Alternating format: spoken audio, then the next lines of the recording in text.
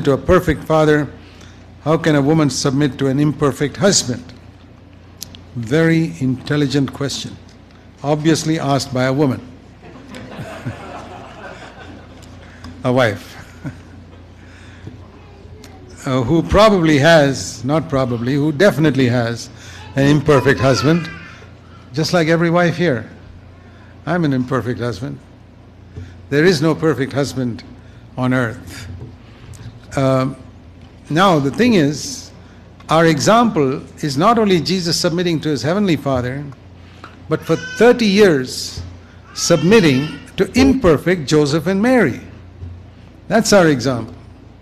How did Jesus, who was perfect, never sinned, knew everything perfectly, submit to two thoroughly imperfect people like Joseph and Mary, who were not even new covenant Christians?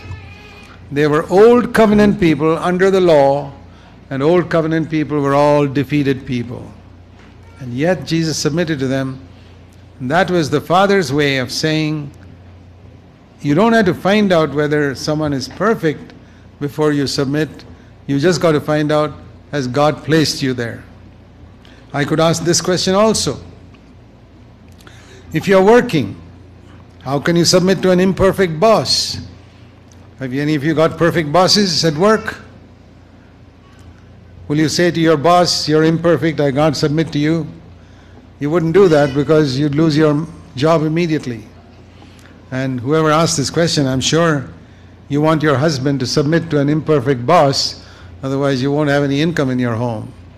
So, God allows us to submit to imperfect leadership. Every elder in every church is imperfect. There's nobody perfect.